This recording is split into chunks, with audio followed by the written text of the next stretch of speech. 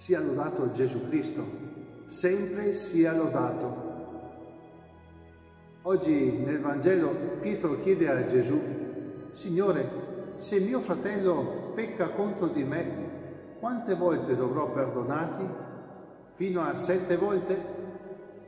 Gesù gli rispose, immagino con uno sguardo di misericordia, no ti dico, fino a 70 volte 7. Ecco che dal punto di vista numerologico dello studio dei numeri, 70 rispetto 7 indica una enormità. Nel linguaggio simbolico dei numeri indica l'enormità della pienezza, un'eternità. Ecco che oggi il Signore ci chiede di valutare il perdono. Mi viene in mente il Vangelo di Matteo, al capitolo 6, dopo aver insegnato il Padre nostro. Ecco che nel versetto 14 si dice con precisione, se voi non perdonerete agli altri, neppure il Padre vostro perdonerà le vostre colpe.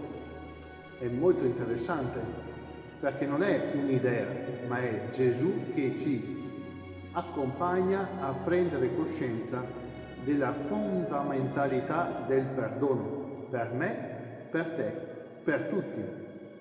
Ecco che mi viene in mente un'altra citazione da una lettera di San Giacomo, fai agli altri come vuoi che gli altri facciano a te e leggendo il catechismo della Chiesa Cattolica e anche il compendio, viene chiamata questa frase la regola d'oro. Ecco che fai agli altri come vuoi gli altri facciano a te. Perdonare non è facile, non è semplice, non è scontato, non è umano, non è immediato, ma è possibile nel campo della possibilità che ogni uomo ha, contemplando questa possibilità che noi abbiamo nei confronti di Dio, anche noi possiamo nei confronti dei nostri fratelli e delle nostre sorelle. Se vuoi sia possibile per te il perdono, rendilo possibile anche agli altri. Ecco che mi sono messo qui in chiesa davanti al confessionale e davanti anche al battistero. Perché?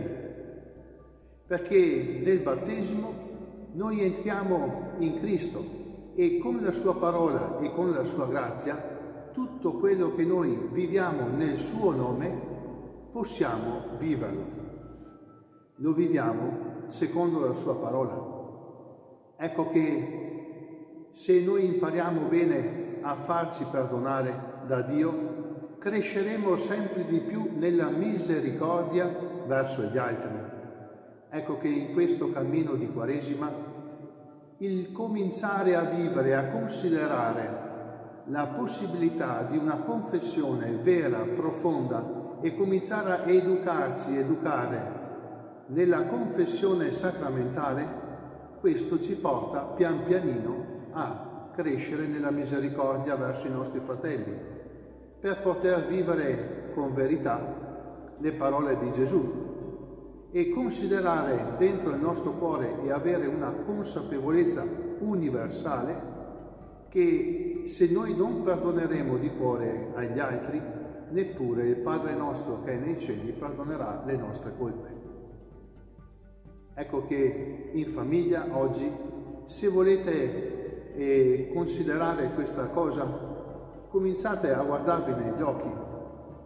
Guardandovi negli occhi cominciate a esprimere le vostre difficoltà, i vostri limiti nei confronti della confessione e anche del perdono reciproco.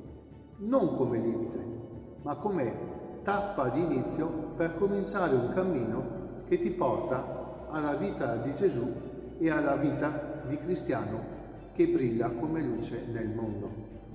Affinché tutti, vedendo le vostre scelte del cuore e le vostre opere di misericordia, possano lodare Dio e rendere grazie al Padre che è nei cieli per la testimonianza che ciascuno di voi fa nella propria vita.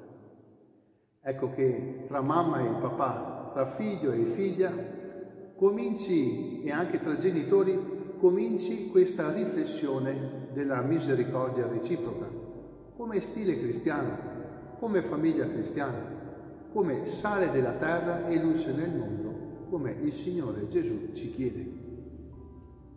Benediciamo il Signore, rendiamo grazie a Dio.